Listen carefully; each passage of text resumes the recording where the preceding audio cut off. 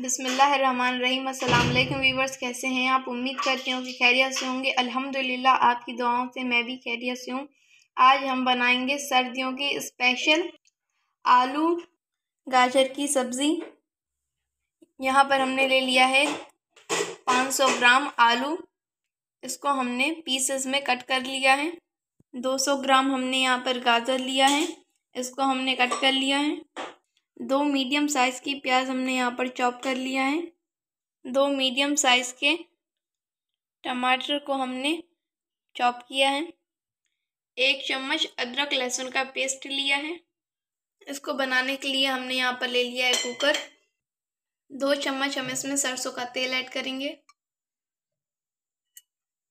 तेल अपने हिसाब से कम या ज़्यादा ले सकते हैं आप।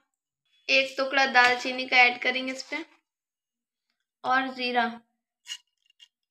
एक छोटा चम्मच। अब हम इस पर करेंगे चॉप की हुई प्याज।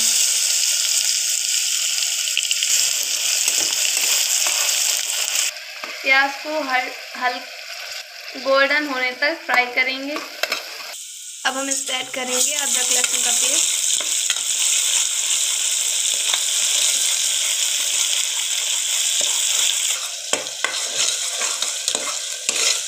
यहाँ पर हमने ले लिया बाउल। अब हम इस पर आधा चम्मच ऐड करेंगे हल्दी पाउडर, दो बड़े चम्मच धनिया पाउडर,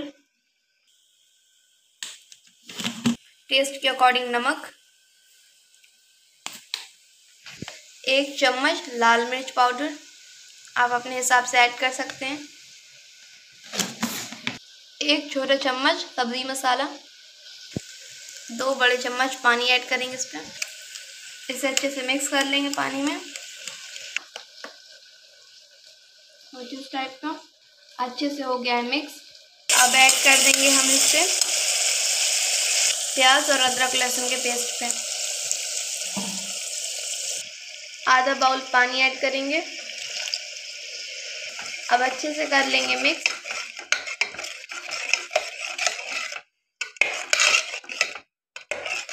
पानी और मिक्स करेंगे half bowl.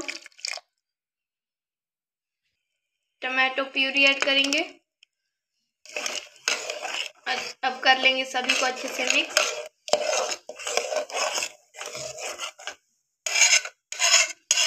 अब इसको पकाएँगे सात से आठ मिनट लो फ्लेम में। सात से आठ मिनट हो गए हैं। मसाला अच्छे से पक गया है।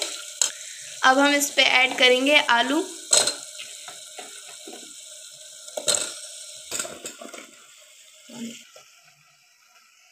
और गाजर भी ऐड करेंगे। अब इसे अच्छे से मिक्स कर लेंगे।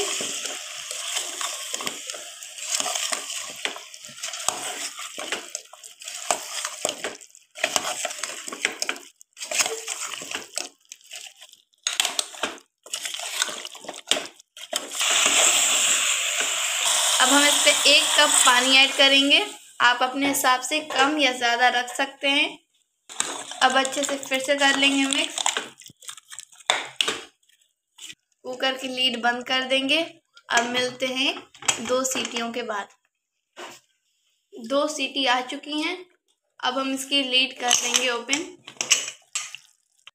माशाल्लाह से हमारी सब्ज़ी बनकर हो गई है रेडी अब हम इस पे ऐड कर देंगे हरा धनिया। माशाल्लाह से हमारी सब्ज़ी बनकर हो गई रेडी इसमें बहुत अच्छी खुशबू आ रही है। आप इसे पूड़ी पराठा चावल रोटी के साथ खा सकते हैं। ये सब्ज़ी बहुत टेस्टी बनती है। आप इसे ज़रूर बनाइए खाइए और खिलाइए। मेरे YouTube channel Suha Javed cooking food को लाइक करें शेयर करें सब्सक्राइब करें एंड बेल आइकन भी दबाएँ। फिर मिलती हूँ इन नेक्स्ट वीडियो के साथ। तब तक के लिए अल्लाह हाफिज़।